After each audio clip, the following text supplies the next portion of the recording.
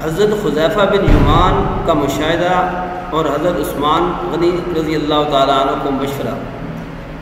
हज़रत खुजैफ़ा बिन युमान ने आज़रबाईजान और आर्मीना के इलाक़ों के दौरों के दौरान देखा कि लोगों का कुरान को पढ़ने के तरीके में बड़ा इख्तलाफ पाया जाता है। लिहाजा उन्होंने वापस मदीना तयबा में आकर अमीरमिन हज़रत उस्मान गनी रज़ी अल्लाह तु को मशवरा दिया कि अमीरमिन उम्मत को इख्तलाफ से बचाने के लिए ज़रूरी है कि कुरान मजीद को कुरैश की किरात के मुताबिक कर दिया जाए और तमाम लोगों को उसके मुताबिक पढ़ने का पाबंद बना दिया जाए ताकि उम्मत मोहम्मदिया एक बहुत बड़े इख्तलाफ से बच जाए।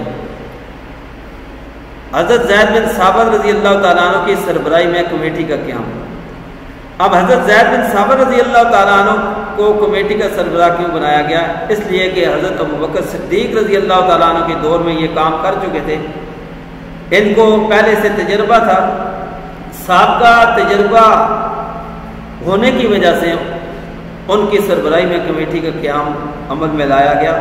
हज़रत उस्मान गनी रज़ी अल्लाह तु ने हज़रत जैद बिन साबत रज़ी अल्लाह तु की सरबराही में हज़रत अब्दुल्ला बिन ज़ुबैर रज़ी अल्लाह तु हज़रत सहीद बिन आस और अब्दुलरहमान बिन हारस रज़ी अल्लाह तु पर मुश्तमिल कमेटी तश्कील दी।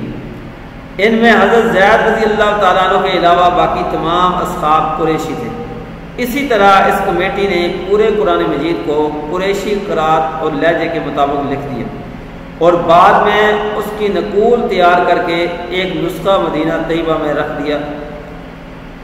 और बाकी तमाम सूबाई दारकूमतों में भी एक एक नुस्खा भेज दिया गया। और हदायत जारी की गई कि आइंदा कुरान मजीद की तिलावत और करात इस नुस्खे के मुताबिक की जाएगी। डियर स्टूडेंट्स अब इस सारी कलाम का हासिल हासिल क्या है। यानी सारे लेक्चर का जो हासिल कलाम क्या है, इससे क्या हासिल होता है?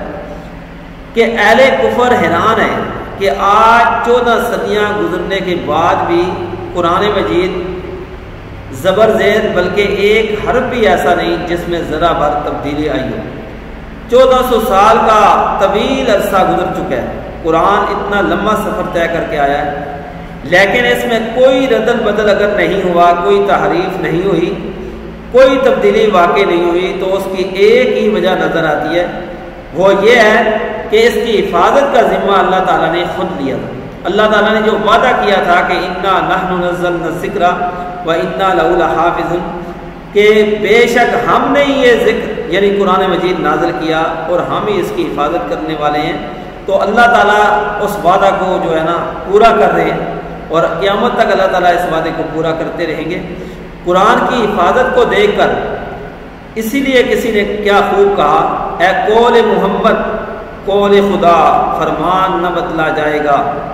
बदलेगा ज़माना लाख, मगर कुरान न बदला जाएगा। डियर स्टूडेंट्स ये प्री नाइन का लेक्चर नंबर सेवन था। कुरान मजीद का जो चैप्टर है, उसका दूसरा सवाल था कि हिफाजत कुरान। और इसके तीन अदवार थे। आप सल्लल्लाहु अलैहि वसल्लम का दौर, उसमें हिफाजत कुरान के तरीके। इसी तरह हज़रत बकर सिद्दीक रज़ी अल्लाह तु का दौर, ऐद सिद्दीकी। इसी तरह ऐद उस्मानी, हज़रत उस्मान बिन उस्मान गनी रज़ी अल्लाह तु का दौर। तो इन तीनों अदवार पे मैंने बात की है। डियर स्टूडेंट्स आपने इसको अपनी कापी पे भी अच्छे तरीके से लिखना है। और इसको याद भी करना है, तमाम एडिंग को सही तरीके से याद करना है।